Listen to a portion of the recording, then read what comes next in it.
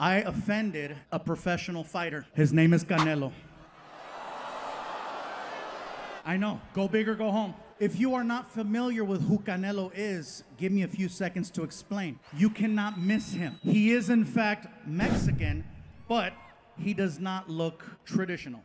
Canelo is, in fact, the whitest Mexican on earth. He's super white. He's so white, he's redhead.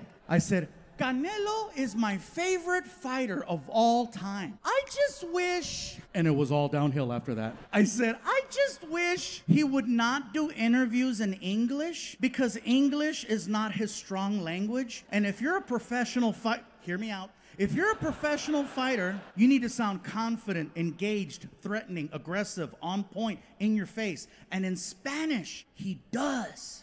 In English, mm, not so much.